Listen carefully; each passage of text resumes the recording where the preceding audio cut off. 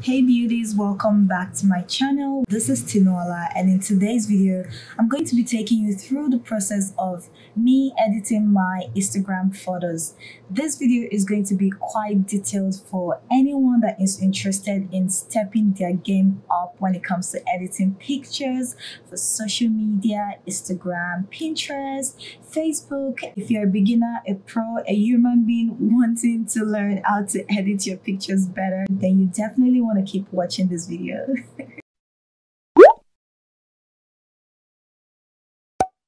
Welcome back people, this is Tinuola. Once again, if you're new to my channel, you're welcome. On this channel, I share content on beauty, hair, healthy lifestyle. So you're free to subscribe to join the channel because every week I share videos on these topics. And if you're a returning subscriber, you're welcome back. it's always good to have you guys Thank you. In this video, I'm going to be showing you how to edit your pictures. We're going to be using an app that you can download on your phone right now if you don't have it. It's called Facetune. And the second app that you can also use, which is called Lightroom. Both apps are free if you want to get them on your Play Store or your App Store. Some features in these apps are going to be limited if you don't subscribe to them. However, if you want to subscribe to them, they are not very expensive, especially Facetune, which is the first app that we're going to be using. I'm going to take you guys right now into my phone to show you what I have here on my screen, right here. This picture was taken with my Canon camera, Canon M50. That's what I used to take this picture when I did my last video. So if you guys haven't seen that video, please check out that makeup video. I'm going to link it right up here. I sent it to my phone and here on my phone I went to my gallery to get the picture and now I am going to Facetune. This picture I would say is already looking nice. There isn't so much editing that I need to do with this picture but if you guys want to see a more detailed editing on how to go from a really crappy picture like this one right here to this okay? Look at the before and the after. If you guys want that then let me know in the comment box below. I'm going by the way i'm using an android phone samsung a8 but if you have an iphone you can also use an iphone for this. So with my pictures the first thing i do on facetune is to whiten them. I cannot do without whitening my pictures. And that's because most of the time the lights i use to video and take my pictures is usually more warm than cool. And it makes my eyeballs look quite reddish. I don't know if you guys understand that but as you can see my eyeballs aren't so white. So so I go into whiten it and then I increase the level of the whiteness to the highest because I always want my eye my eyes to look white in the pictures. So this is the before as you guys can see So what I'm just doing right now is to whiten my eyeballs.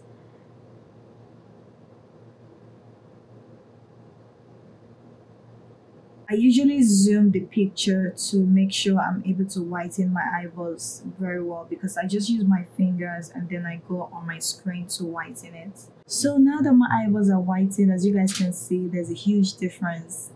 This now looks better the next step is to scroll through and go to touch up. Touch up, I don't use touch up all the time, but if my pictures are really bad, then I use touch up. You might want to adjust your eyes, your eye bags if you have any. You might want to adjust the glow. I don't go with glow because glow is too much. It's usually too much. I like my pictures looking really natural. I like them looking like I just took them with a camera and I'm uploading them. I don't like them looking too edited. When I do my YouTube thumbnail, however, I have a different way of editing them. Most of the things that I don't do when I edit my Instagram pictures, I do them when I do my thumbnails. So for YouTube thumbnails, if you want a tutorial on how to edit YouTube thumbnails, Kashi thumbnails, guys, let me know in the comment box below all right the next step is details most of the time i do whiten i do details those two steps i do not miss them Some features on Facetune, like I said, are not free, but I have a subscription and it's about $3 a month. I mean, if you don't want to subscribe, that's totally fine. You're still going to get a lot from the app. For the longest time, I did not subscribe to them. I was using the free version and it does it does good, okay? So when it comes to the details, I really like to add some details to my hair.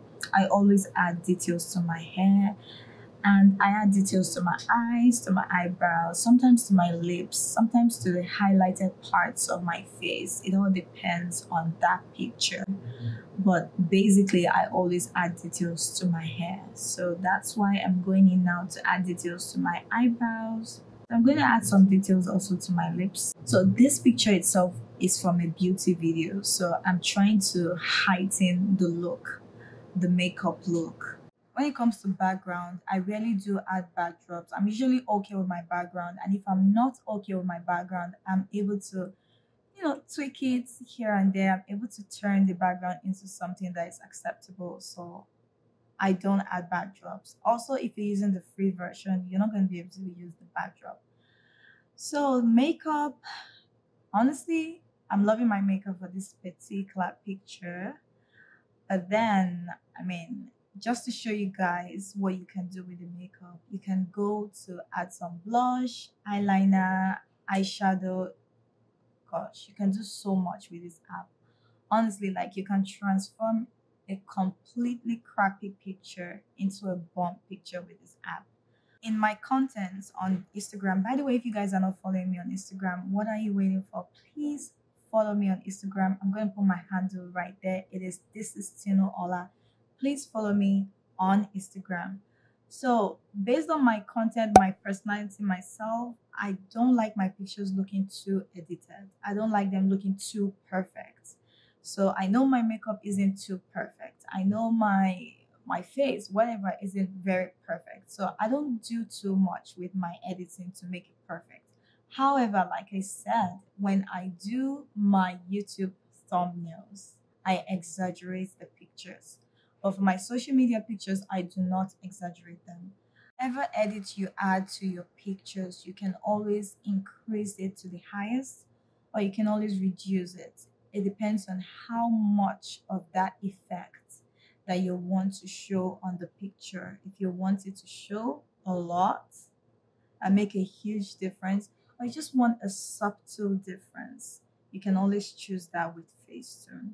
So you can choose to add some colors if you want it more.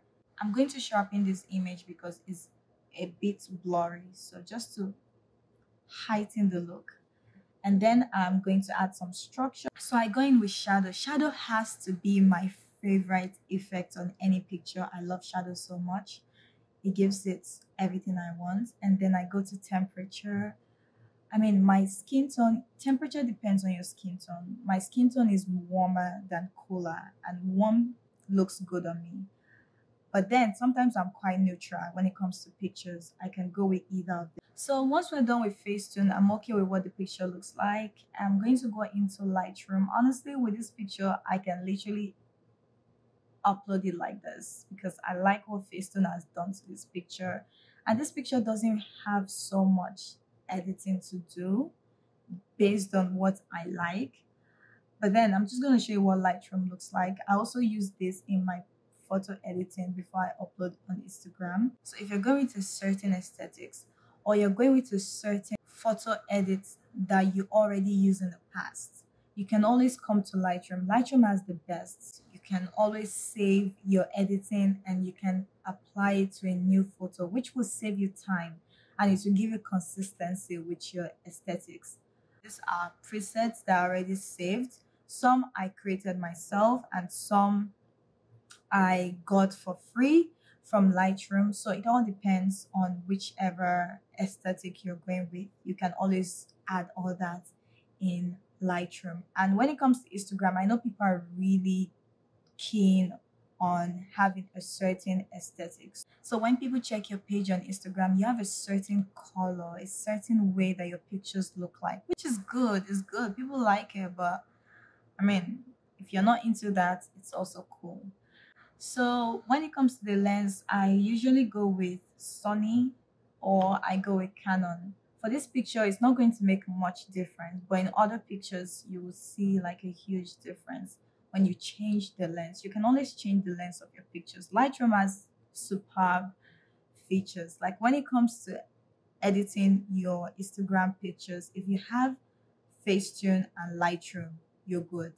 I'm still going to sharpen this picture a little bit because like I said, it's quite blurry. Um, the temperature, like I said, you can go from cool to warm. When you go cool, when you go cool, it looks a bit white and then it turns blue. And then you can go to warm, which is more orangey, yellowish. But then for this picture, temperature, I think I'm going to be a bit cool. Let's see. Yeah, that looks okay.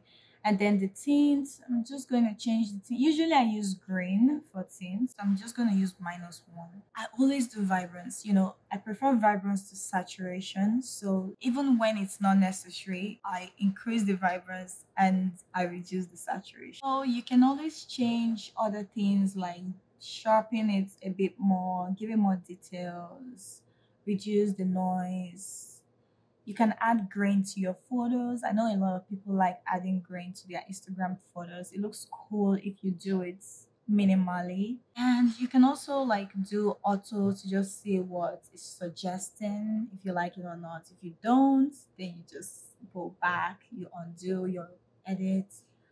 And mm, we're almost done guys i hope you guys are enjoying this video so far if you are please give it a thumbs up let me know down below. So for exposure in this picture i'm just gonna leave that for now because i like the exposure the current one. And shadow i told you guys shadow is everything. Like if you are dark skin shadow is everything. I love shadows. I want my face to have you know the darker bronzy look. Shadows go very well with all that. And highlights too you can always play around it if you want your pictures really highlighted i like whites too but it depends on the picture. Sometimes white i can go like really low on white i can go high on white it all depends on the picture. Blacks i don't really use blacks that much especially when i use shadows. I don't really use blacks but yeah i'll really use black for this picture because i want my hair a bit darker my eyes. Blacker. I hope this video isn't too long or tiring or too much. I hope you guys are able to understand and you're following me. So there are other features that you can dive into on Lightroom like curve. You can change so many things on Lightroom. But then, I mean, if you're just a beginner, just go with these basic ones, the popular ones, the ones that you're more familiar with, ones that are easier to change. This is our final look. This is where we are coming from, okay? This is where we are at. This is the before and this is the after. Before and after. Before and after. Can you guys see the difference? Okay, let me know if you guys enjoyed this video. Let me know if you want to see more comprehensive, more detailed tutorials on how to edit your social media pictures, Instagram pictures. Let me know if you guys want to like bomb editing where you change the your features, your the shape of your nose, the shape of your eyes, the shape of your, your eye color, your mouth, let me know if you guys want to see all that fun stuff, okay? I can take you through that process. Also, don't forget to subscribe to my channel. Here on this channel, I share content on hair, beauty, and healthy lifestyle. Hit the notification bell beside the subscribe button. That way, you get notified every time I release videos. And guess what? It's every single week. Alright guys, that will be all. I hope to see you on my next video or in my other videos. Check them out. Click, click. Bye.